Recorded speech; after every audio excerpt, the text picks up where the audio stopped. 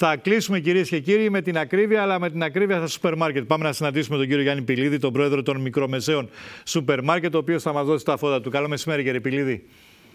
Καλό μεσημέρι και εσάς και τους ακροατές σας. Λοιπόν, ε, ακρίβεια για εισαγόμενη μιλάνε, ε, μιλάει, επιμένει ο κύριος Μητσοτάκης, γιατί τώρα γίνεται η συζήτηση προημηρησία στη Βουλή.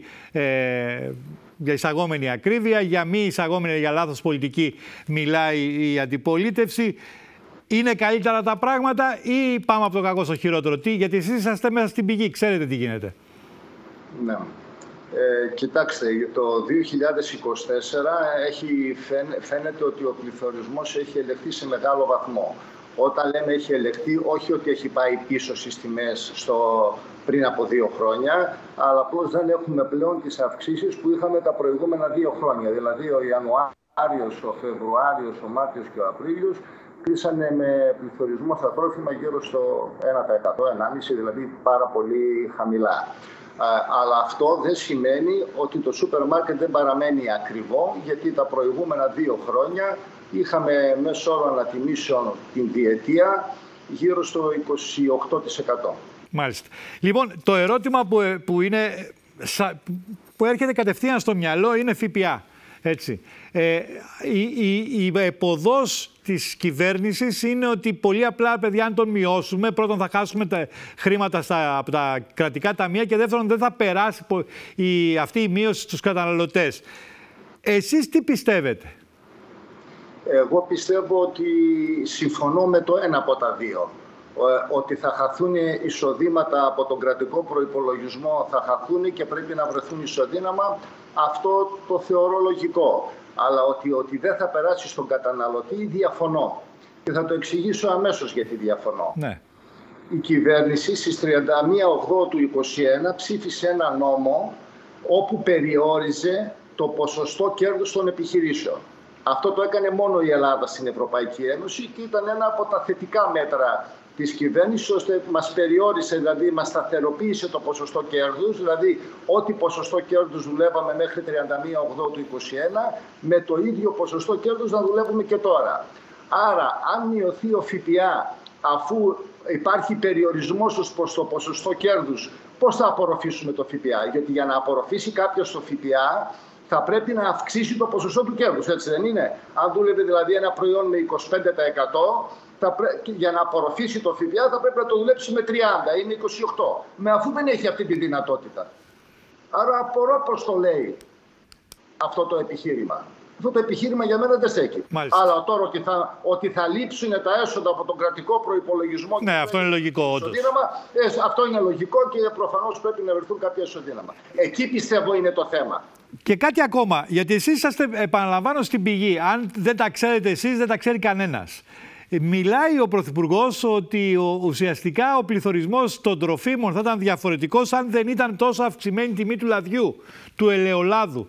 Το δέχεστε σε αυτό; Είναι δηλαδή τόσο πια το λάδι που ανεβάζει τον πληθωρισμό και τις υπόλοιπες τιμές; Ναι, κοιτάξτε, επειδή το λάδι είναι ένα ακριβό προϊόν, δηλαδή ένα λίτρο κάνει περίπου 10 με 11 ευρώ ε, προφα... και επειδή είναι βασικό στη, στο, στα καταναλωτικά ήθη του Έλληνα, δηλαδή ο Έλληνας χρησιμοποιεί πολύ ελαιόλαδο σε σχέση με τους υπόλοιπους Ευρωπαίους, ε, προφανώς επηρεάζει ε, το μέσο καλάθι, το επηρεάζει σημαντικά.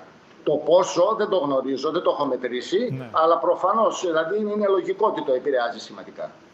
Πώς είναι επίσης λογικό προϊόντα τα οποία παράγονται στη χώρα μας να πουλούνται στα ελληνικά σούπερ μάρκετ με πολλαπλάσια τιμή από ό,τι πουλούνται στα ε, σούπερ μάρκετ, στα αντίστοιχα ενός σούπερ μάρκετ ε, ευρωπαϊκών χωρών. Υπάρχει κάποια λογική εξήγηση σε αυτό; Δεν είναι ούτε τα μεταφορικά, φαντάζομαι, δεν είναι ούτε οι μεσάζοντες. Τι ακριβώς γίνεται; Όχι, όχι. Υπάρχει, υπάρχει, υπάρχει λογική. Κοιτάξτε τι γίνεται. Ένα προϊόν το οποίο στην Ελλάδα είναι leader να πάρουμε ένα γιαούρτι ή μία φέτα, η οποία είναι leader στην Ελλάδα. Δηλαδή έχει πολύ μεγάλο μερίδιο αγοράς. Άρα στην Ελλάδα πουλάει. Αυτό το προϊόν, αν μεταφερθεί στη Γερμανία ή αν μεταφερθεί σε μια άλλη χώρα, εκεί είναι τελείως no-name, είναι ανώνυμο. Δεύτερον, πάει σε μια αγορά όπου δεν καταναλώνεται η φέτα όπως καταναλώνεται στην Ελλάδα και επιπλέον πηγαίνει και σε μια αγορά όπου το προϊόν είναι παντελώς άγνωστο. Πώς θα πουλήσει αυτήν την καινούργια αγορά; Για να πουλήσει πρέπει να χαμηλώσει την τιμή. Διότι άμα πάει με αυτήν την υψηλή τιμή στην ε, ευρωπαϊκή αγορά δεν θα πουλήσει.